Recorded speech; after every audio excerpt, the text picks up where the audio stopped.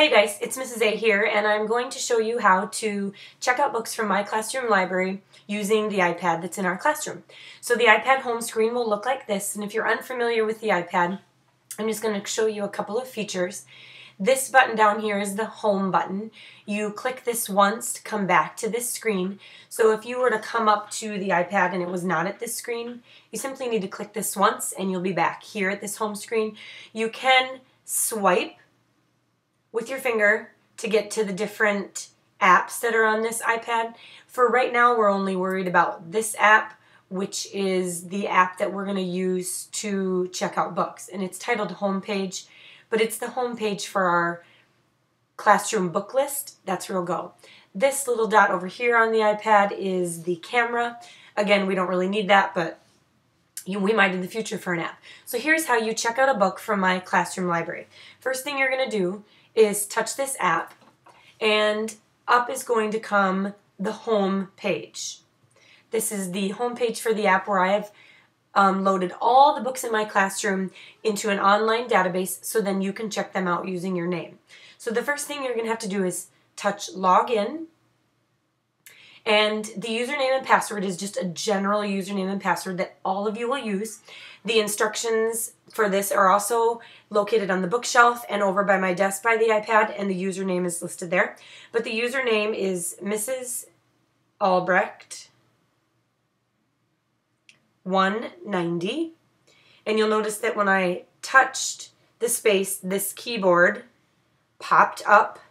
So then you can start typing. And the password is Holmes, which stands for Hidden Oaks Middle School, and then the word sixth, as in sixth grade. And then I'm going to touch go. And then you come to a page where you have to choose teacher page or student page. Obviously, you want the student page. If you were to touch the teacher page, it's going to ask you for another password, which you don't know. So it doesn't do you any good. So you just want student page. And then here is the screen that you get to see to check out. So if you're checking out a book, you're going to touch checkout. If you're returning, you're going to check return, and I'm going to show you both. First, we're going to check out, and you have to find your name. And all of you are listed in here, first name, last initial.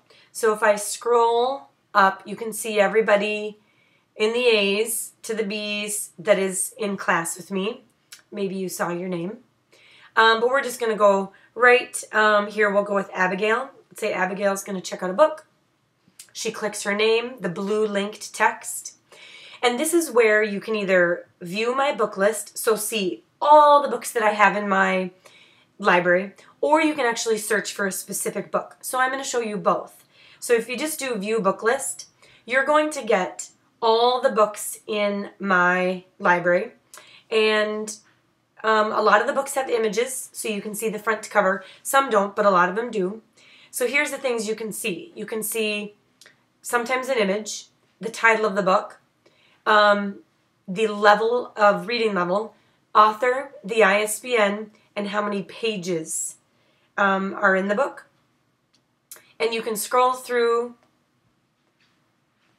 and you can see there's many pages. I think I have over 800 books in here. So this is not the most efficient way to check out a book is just to search through the list.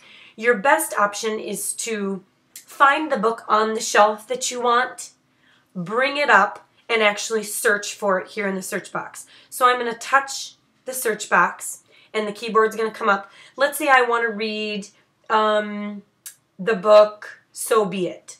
So I'm going to put in So Be It and then I'm going to touch search. And it's going to see, oh, it doesn't have that book. Well, we'll search a different one then. Um, let's try, go with the theme in the room. Let's try Twilight. Click search. Let it think. And then you can see that it has Twilight.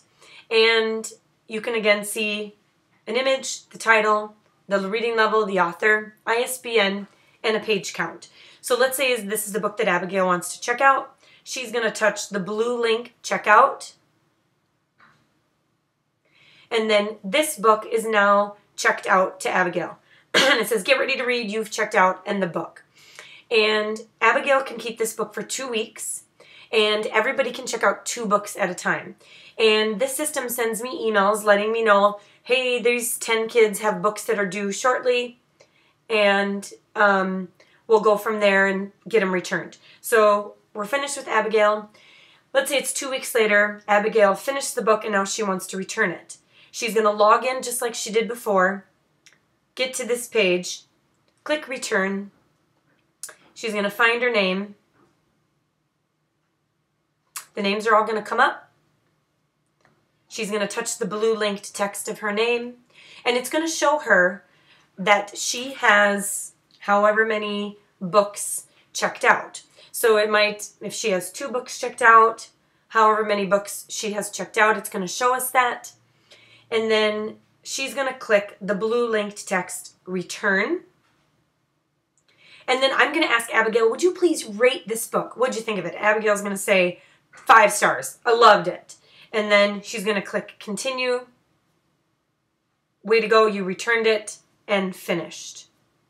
Easy as that, guys. Um, no books can leave the room without being checked out. So make sure you come up to the iPad, read the directions. Once you do it a couple times, you'll get it. But don't take any books out of the room unless you've checked them out. And this includes picture books, poetry, nonfiction, the big fiction shelves, anything. You got to check them out.